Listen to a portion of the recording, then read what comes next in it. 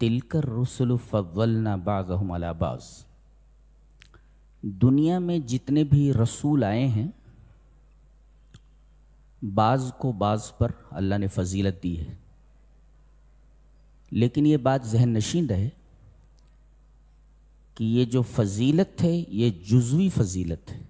जी। कुल्ली फजीलत सिर्फ़ हमारे नबी जनाब मोहम्मद रसोल्ला अलैहि वसल्लम को हासिल है। जुजवी फजीलत का मतलब यह है कि किसी नबी को कोई ऐसी चीज़ अता की गई जो दूसरे नबी को अता नहीं की गई।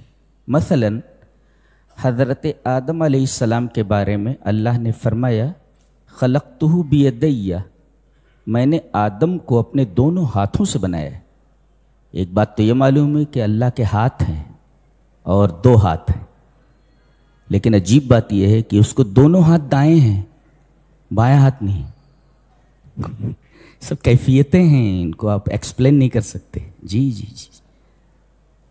वो तस्वुरात से मावारा है, हमारा रब। जी जी। तो मैंने आदम को अपने दोनों हाथों से बनाया है। पता यह चला कि अल्लाह के हाथ हैं और दो हैं, और दोनों हाथ दाएँ हैं, यमीन है। और इसी तरह हज़रत आदम सलाम का कद साठ हाथ का बनाया, है? घटते घटते हम लोग कितने छोटे हो गए, उन्हीं की औलाद है ना? साठ हाथ का कद, ये उनकी खसूसियत है ये अतीय है। हज़रत मूसा सलाम है। अल्लाह ताला ने उनसे जबल तूर पर बराह रास्त कलाम फरमाया, या मूसा, इन्नी अनल्लाह रब्बुल आलमीन.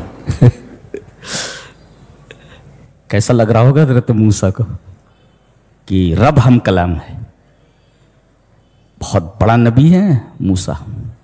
और इनके एहसानात भी हैं हमारे ऊपर बहुत ज़्यादा। वो पचास की पाँच इन्होंने करवाया है। बार बार हमारे नबी को भेज रहे थे। तो अल्लाह ने इनसे कलाम फरमाया, ये इनकी खसूसियत है। जी। हज़रत ईसा मेडिकल साइंस इतनी तरक्की करने के बावजूद भी उस लेवल तक नहीं पहुँची है कि मुर्दों को ज़िंदा कर सके। कैंसर का इलाज अब तक नहीं ढूंढ पाए। तो वो मुर्दों को ज़िंदा कर देते थे। अल्लाह। क्या खाकर आए हो? वो बता देते थे। वमा तदखिरून तुम्हारे घर में क्या है? जमा करके क्या है? तिजोरी में क्या है? वो भी बता देते थे। पैदाइशी अंधे को अच्छा कर देते थे। पैदाइशी अंधे को अच्छा कर देते थे। पैदाइशी और इसी तरीके से कोढ़ी को अच्छा कर देते। ये तमाम बीमारियाँ ऐसी हैं जो लाइलाज हैं। अल्लाह ताला ने इनको ये वस अता फरमाया था, जिसके ज़रिए वो इन कामों को अंजाम देते थे। अल्लाह तबारक व ताला ने यहाँ हज़रत ईसा का नाम बताया है, ज़िक्र फरमाया है। और एक जुमला है, व रफ़ा बाज़हम दराजात। इनमें से बाज को कई दराजात हमने बुलंद किया है। ये बाज कौन है? नाम नहीं बताया गया। ये हमारे नबी जनाब मोहम्मद वसल्लम। नाम नहीं बताया गया, लेकिन मुराद वही है। जैसे सुबहान असरा मस्जिदिल हराम। पाक है वो ज़ात जो अपने बंदे को सैर कराए और उसने आसमान पर बुलाया। ये बंदा कौन है?